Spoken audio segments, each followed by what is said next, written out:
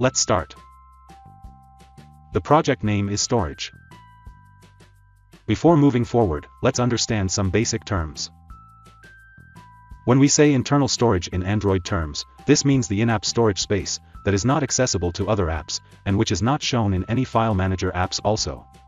This space can only be seen through the Device Explorer option in the Android Studio.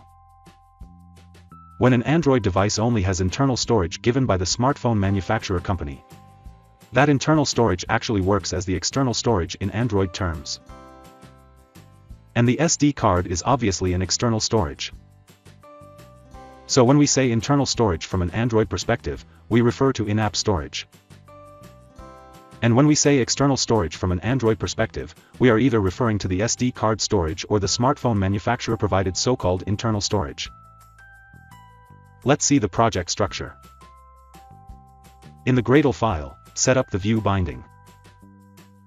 Here we have a main activity, the external storage activity, internal storage activity, external storage manager class, internal storage manager class, and a storage class. And in the UI, we have an activity underscore main.xml file, an activity underscore external underscore storage.xml file, and an activity underscore internal underscore storage.xml file, which are the respective UI files of the three activities. Let's see the UI. In the activity underscore main.xml file, we have two buttons. Go to internal storage activity, and go to external storage activity. In the activity underscore external underscore storage.xml file, we have several buttons like, create the file, write to the file, read from the file, and create cache file. In the activity underscore internal underscore storage.xml file, we have several buttons like, create the file, write to the file, read from the file, and create cache file. Let's see the Kotlin code now. These are the imports. This is the main activity. When the Go to External Storage Activity button is clicked, we navigate to External Storage Activity. When the Go to Internal Storage Activity button is clicked, we navigate to Internal Storage Activity. This is the External Storage Manager class. This class has various functions like creating a file, writing to a file, reading from a file, creating cache file, etc.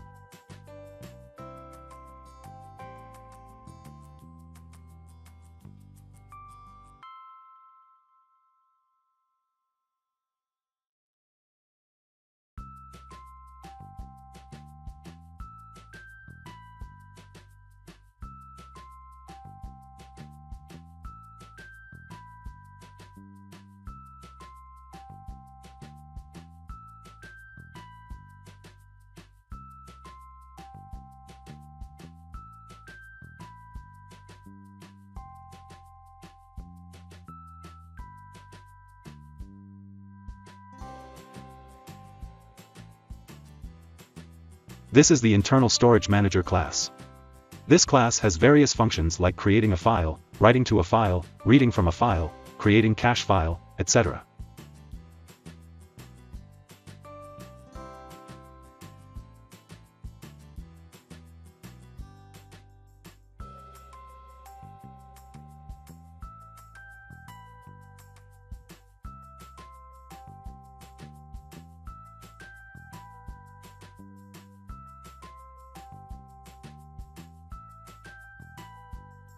This is the storage class. Here we have implemented the singleton object creation pattern so that only a single object of this class would be available throughout the app lifecycle. These two functions return the instances of the external and internal storage manager classes. We will use this class in the activities. These are the imports. This is the internal storage activity, that implements the on-click listener which handles the on-click events of the various buttons. In the data members, we have fetched the object of the internal storage manager class via the storage class. In the onCreate function, we set the onClick listener of various buttons. This is how we create a file in the internal storage. This is how we write to a file in the internal storage. This is how we read from a file in the internal storage. This is how we create a cache file in the internal storage. These are the imports. This is the external storage activity, that implements the on-click listener which handles the on-click events of the various buttons. In the data members, we have fetched the object of the external storage manager class via the storage class. In the onCreate function, we set the on-click listener of various buttons. This is how we create a file in the external storage. This is how we write to a file in the external storage. This is how we read from a file in the external storage. This is how we create a cache file in the external storage. Let's run the app.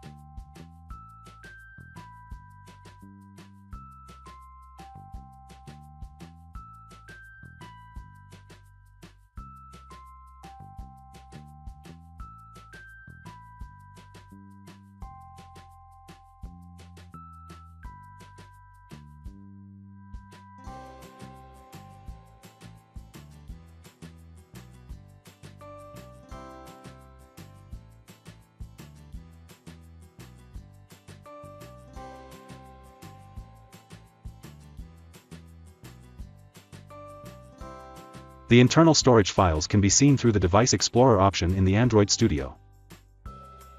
The internal storage files can be found in the following path. Data. Data, package name, and files. The external storage files can be found in the following path. Storage, self, primary, Android, data, package name, files. So that's it. That's how you can use internal and external storage in Kotlin Android. Thanks for watching.